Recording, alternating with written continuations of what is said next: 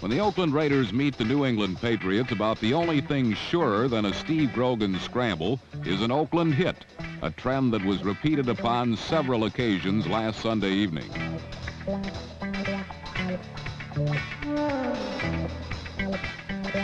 Oakland built a two-touchdown lead in only the first quarter behind Ken Stabler's swift and sure strikes to Dave Casper. By the fourth quarter, however, New England had tied the score at 14 and was looking towards Russ Francis for the win.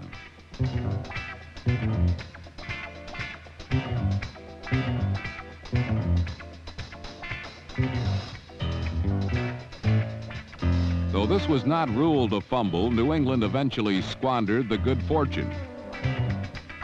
Yet with barely a minute remaining, opportunity knocked once more and this time, Patriot cornerback Mike Haynes answered.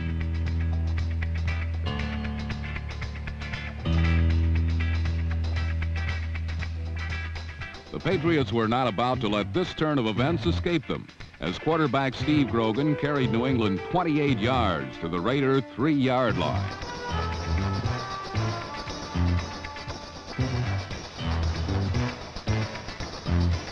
From here, with but 19 seconds remaining, the victory was but a leap away for Sam Bam Cunningham.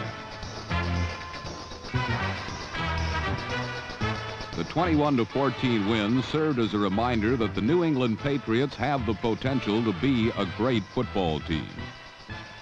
Whether they continue to develop this ability, however, remains to be seen.